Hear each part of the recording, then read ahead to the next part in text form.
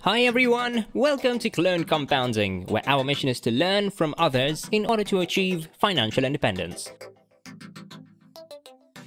Today we'll be covering our top 3 takeaways from the legendary investor Bill Miller's recent interview with William Green. Bill Miller gained his fame by consistently beating the S&P index for over 15 years in a row. Miller runs Miller Value Partners, which you can probably guess makes Miller a value investor. But what's more striking is that his personal net worth is almost all in Amazon and Bitcoin.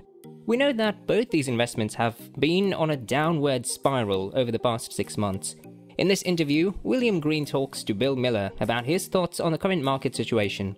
Green is an amazing journalist who has interviewed many of the greatest investors of our time over the last 25 years. He's the author of Richer, Wiser, Happier. Let's dive in. Takeaway 1 We are in a new investment regime.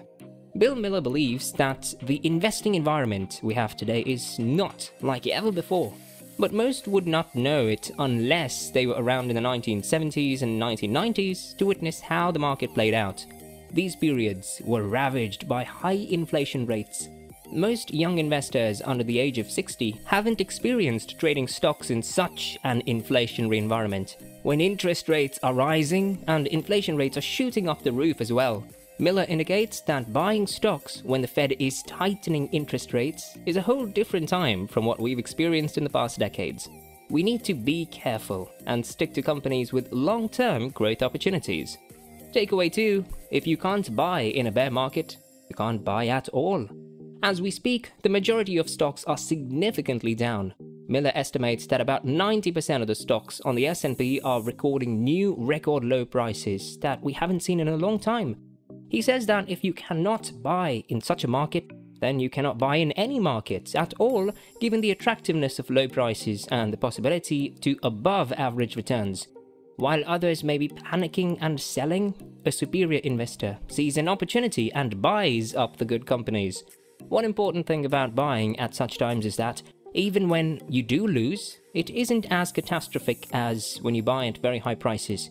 Miller sees current economic crisis as something that happens only a few times in a decade, stating that similar opportunities only happened recently in 2008 and 2009. In simple terms, this is one of the best times to buy stocks.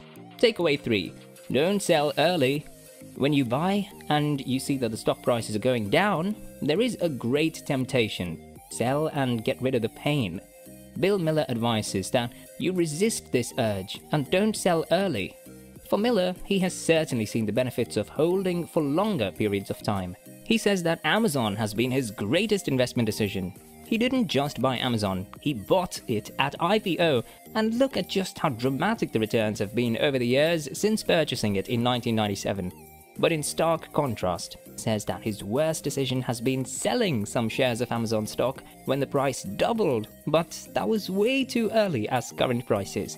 The Amazon stock price has gone up by more than 1500 times ever since.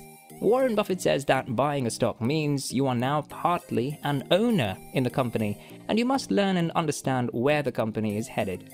This is important so that you don't sell early when the world around you panics. Bonus takeaway be comfortable with uncertainty.